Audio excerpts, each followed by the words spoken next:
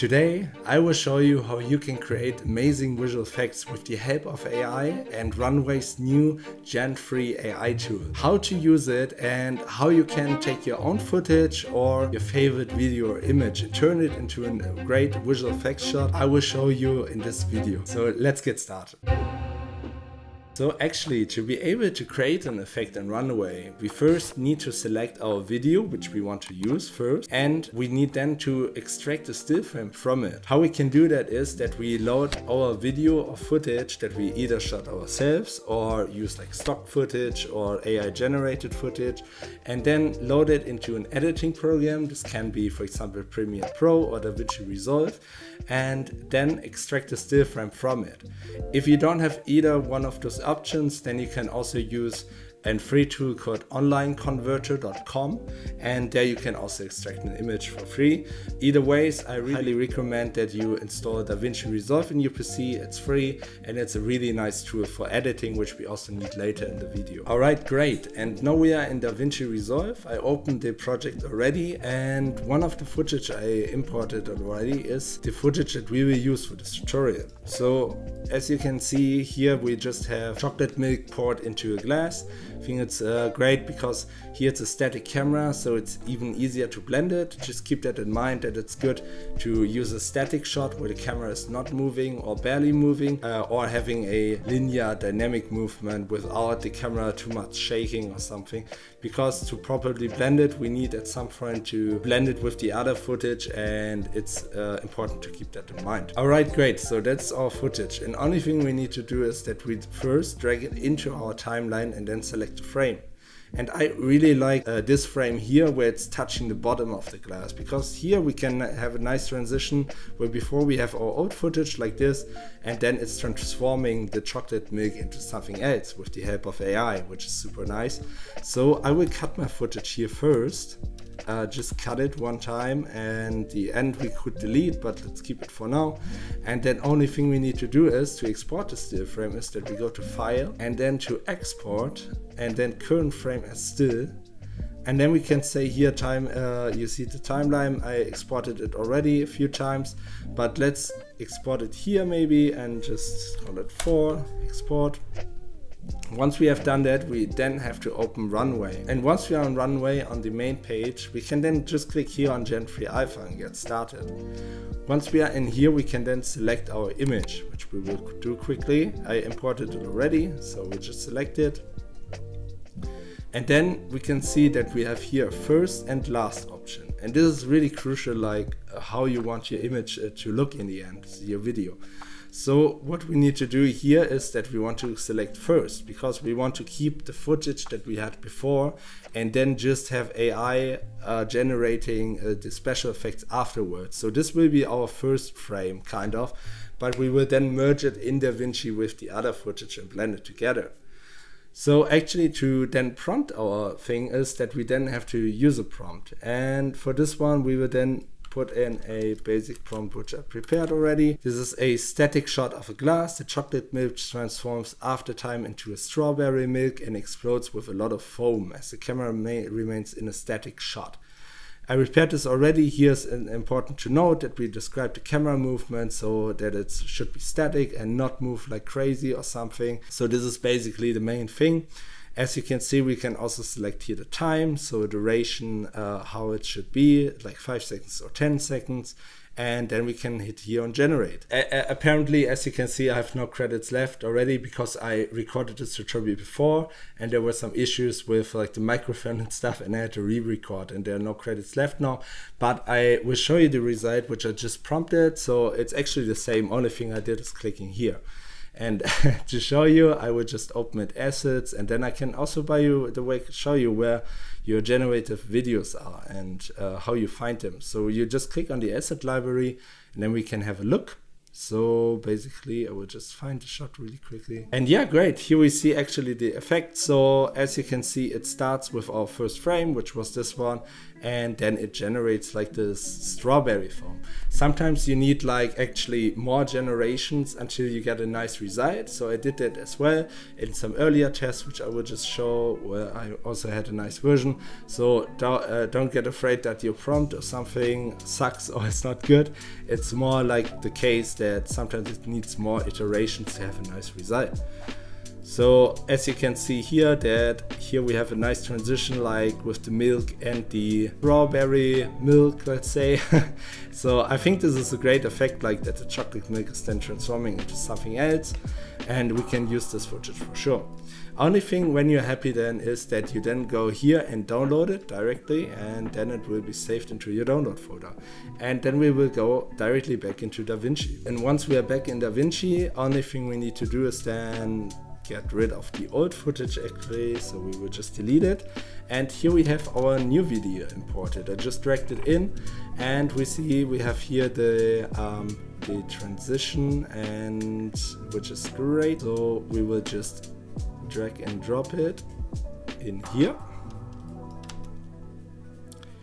And then we can already see that we have a nice transition over here. Like we have the footage that we had before over here then pours in and then it goes smoothly in here.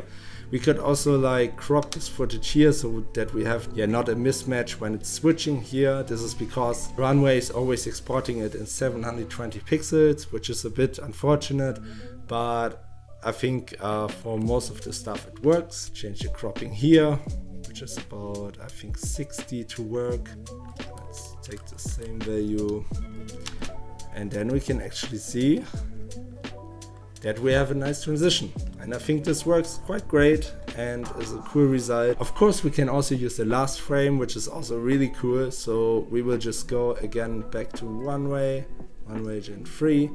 Then we can here drop an image click and I prompted this image here in Midjourney already and we use it this time as a last frame because then we have total control how the image or final image should, uh, should uh, end up looking which is of course important for commercials that we have control over it. And then what we will do is of course we will uh, type in a prompt uh, again which is a static shot in a commercial of a milk chocolate exploding and strawberries and chocolates flying around.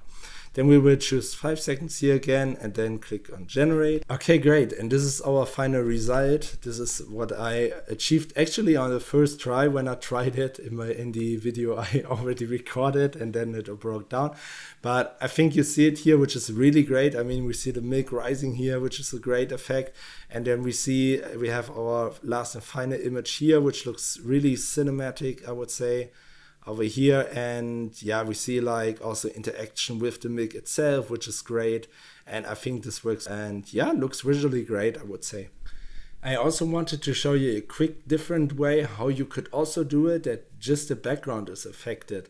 And the, when you have a character, for example, or an actor that you shot in the front, that it's not affected by it directly and that you can then composite nicely that it works in the end. So what you can do actually is I have this footage here, which I shot for a previous video a few weeks ago.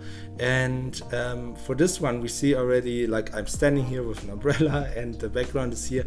And of course we need to extract, uh, like paint out myself here that we just have the background and then we can use it in Runway. To do that is I would just simply yeah, use the AI generative fill in Photoshop, which is a really cool feature. Then we will select it and just use the lasso tool and then mask myself out here. And then we will just click here on generate a fill. And actually we don't want to fill it with anything else. So we just click on generate and then it will paint out ourselves and just replace it with the background or trying to fill it with the background what it thinks the background is in this example. And you see it works really, really nice. Like you can barely see it here that I was standing here. Here it's a bit smudgy, but that's no problem because we will composite ourselves back in and adding ourselves back in in the end. So I think this is a really great result and we can use that. And then only thing you need to do is of course to export the image here, export it and then yeah, choose here the settings. It's okay with a JPEG and just hit export. Back in Runway actually we will then choose again our image, select it here first frame and then we will also describe the shot. And here I wanted to have heavy rain so I just prompted something basic like static camera again and it is pouring heavy rain. So you see the prompt structure can also uh, be quite simple and um, Runway is already using that. Again, I prompted that already. Sorry again for the circumstances, but uh, yeah, here we see we have this nice heavy rain. Um, of course, it won't blend perfectly with uh, ourselves on the front because here it's really heavy, but I just want to show it as an example that also liquid simulations like this are working quite nice like um, that runway can do this stuff. So we will just download the footage here again. And then the next step is that we key out ourselves kind of that we extract ourselves from the background. And luckily there's also two in runway and it's for free. You don't need any credits or something for this. So we will just go back to home. I also explained this in a previous video but I will explain it quickly here as well. So we go to remove background. Then we select our footage. I did that here already but I will just select the clip again. Then we are in here and we see we have our character here, which is me in this example. So I will just select myself to set a keyframe. And you see that it's already automatically setting a mask and trying to mask myself out. So sometimes we need to select multiple points so that it calculates more into it and just click on the areas that are not included there so far. And then you see when when you are completely green like your character, or your actor, um, then it works. And then you can see for the other and check the other frames if it's working. You can also do some adjustments here, like paint out stuff if you don't need it. But I think for this example and tutorial, it's fine like this. So we will just go then to done masking. Okay, great. And then we can maybe use some feathering to smooth out the edges here that they don't look that ugly. So just use a value of five maybe, that's a bit better. And then we go to export um, export it in a resolution that we had and then export video. And then we can go directly back into DaVinci because DaVinci has a really great tool which is called keying. So we can then, because here you actually see that we are standing in front of a green background which is runway adding automatically and we want to get rid of it. So what we want to do then is actually we create just a new timeline here quickly. Then we will import our clip uh, with the with our character. And we will then choose the runway clip which we exported and which has the heavy rain inside. And then actually what we can do is that we first key out the green screen here. To do that we use fusion but don't get scared of fusion. It's really nice and easy to understand. So um, for the keying so we will just select our clip go to fusion. Then we uh, press uh, shift and space and then search here for 3D keyer. Then we will add it and it's automatically added in here. And then we will just click on the pick symbol over here. Then we will pick the green color and we already see it's masking out most of the stuff. We see we still have a green edge here, but we can remove that quite quickly with just the despill option, which we have over here and then it will remove all the green edges that we had before. And this is basically all you need to do. Of course, it's not perfect. As you see, there are some smudgy edges. We could refine it even more here. But for now, I think this is fine to give you a sense how it's working. Of course, there are better keyers out there, but I wanted to show it quickly to you in DaVinci so you we don't need to dive into After Effects or something for now. And then we will just composite our background inside there with the Gen 3 Alpha again and we see we are basically standing in front of it. As you can see the key is not working that great here. I can really recommend After Effects for this but um, yeah I mean we can also further refine it here a bit. Alright great and this is looking already a bit better I would say and um, yeah this is basically what I wanted to show you. Of course like it needs better integration in the end but I think for a quick example how it's working like the workflow I think this is cool and uh, will get better with the time for sure in the future as well. Just a last thing to mention, which is important, like it uh, way is quite pricey. It gives it gives you really great results, and you can use it. Let's say for like a five second generations, it's usually already like 50 credits, and for 10 second generations, it's 100 credits, which can add up after a while. It's like around 10 to 15 dollars, depends on how many credits you want.